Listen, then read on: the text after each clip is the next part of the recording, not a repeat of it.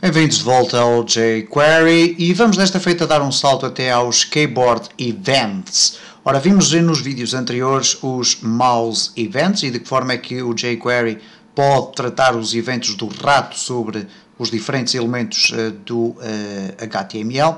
Neste vídeo vamos ver aqui muito rapidamente quais são os Keyboard Events. Nós já vimos dois, essencialmente, o Focus In e o Focus Out, uma vez que nós uh, podemos um, ehm, passar o focus dos elementos não só clicando neles, mas também teclando na tecla Tab, ok?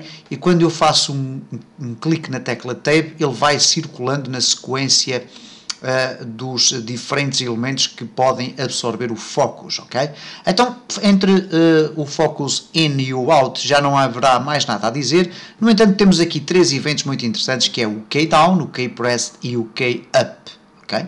Ora, vamos experimentar aqui o key press e neste caso vamos fazer simplesmente o seguinte, vamos um, ehm, escolher todos os input text, ok?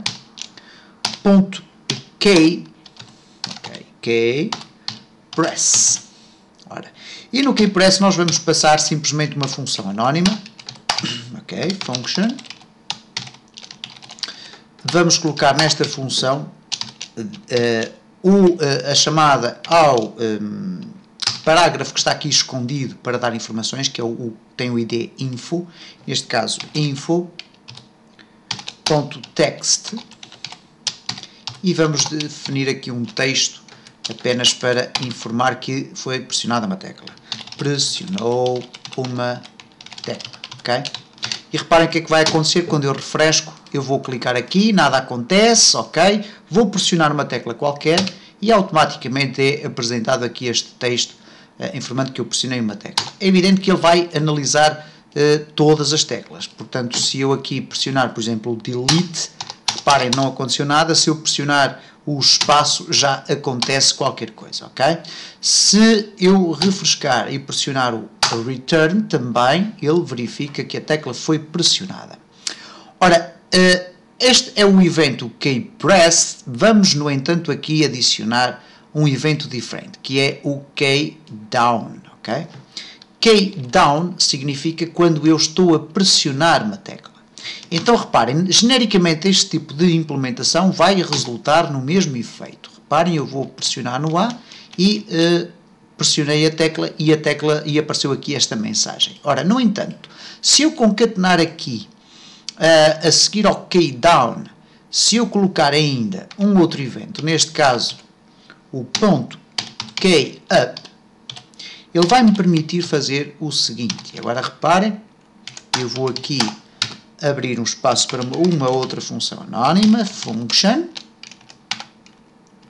e dentro desta função eu vou fazer simplesmente o seguinte, vou buscar aqui esta implementação, vou colocar aqui, e agora vou retirar o texto ao parágrafo. O que quer dizer que, vamos ver se isto corre como quero, eu pressiono a tecla e quando largo a tecla, automaticamente ela vai, eh, a informação vai desaparecer. Reparem, eu estou clico no A ele pressionou a tecla, pressionou, pressionou, pressionou e, e, desaparece. Se eu estiver constantemente a carregar, por exemplo, aqui no delete, reparem, eu estou a carregar, largo o delete e automaticamente esta função verifica imediatamente que a tecla foi eh, pressionada ou foi largada. E, portanto, reparem, eu estou a utilizar o tab, o tab, ok? E, e, e reparem, espaços, largou e automaticamente isto é verificado. E portanto, genericamente, relativamente aos eh, keyboard events, não há muito mais a dizer uh, relativamente a isto. Há o focus in, focus out, key down, key pressed e key up.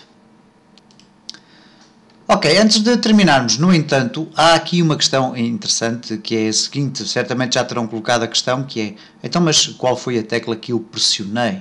Ok?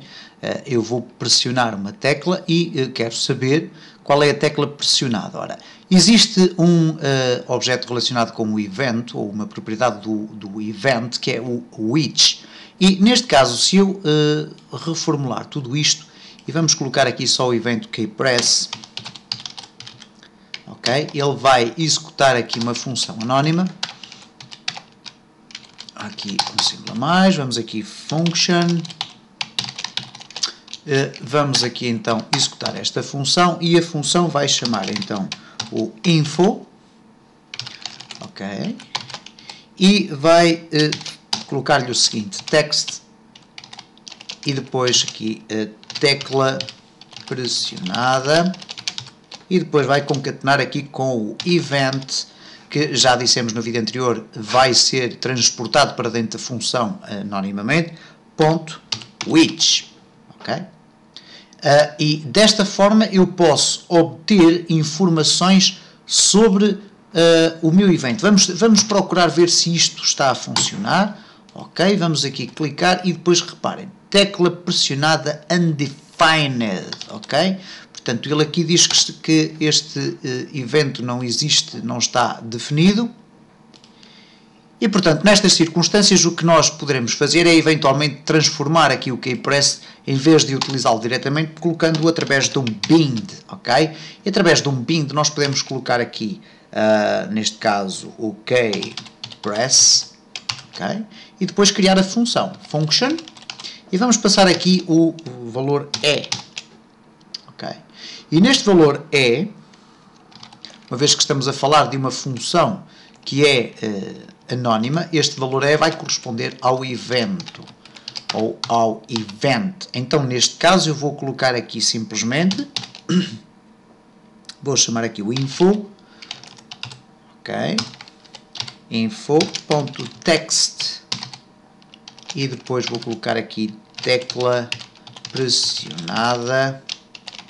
E agora mais é ponto which ok which desta forma e vamos aqui refrescar novamente vamos ver se isto agora já está ora e reparem como eu automaticamente obtenho aqui já informações sobre a tecla que está a ser pressionada Ora, isto significa genericamente o quê? Significa que estamos a obter o código ASCII uh, da, da tecla pressionada. Eu, portanto, se eu clicar aqui no uh, return, a tecla ASCII é o 13, se eu clicar no delete é o 8, embora aqui não apareça, mas uh, ele aqui está a funcionar para, para que não apareça, no entanto, o espaço será o 32 e por aí fora. E, portanto, convém ter sempre uma, uma tabela de consulta de código ASCII uh, para obter estas informações. Evidentemente que se eu agora aqui uh, voltar, uh, neste caso no bind, em vez de um uh, keypress, colocar aqui um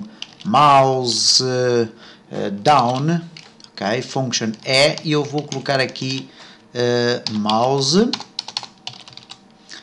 button ok? Vamos aqui ver o que é que vai acontecer, ok? Button 1, porque eu estou a carregar no botão left, button 3, porque eu estou a carregar no botão do lado direito do rato, vou clicar no botão central da uh, rodinha, não é? no wheel mouse, e cá está button 2, e se eu mexer aqui na rodinha não aparece nada. Mas, portanto, desta forma eu posso saber qual é o botão que está a ser uh, clicado através da utilização uh, do, neste caso, do e.which, que é uma propriedade relacionada com o, o objeto event.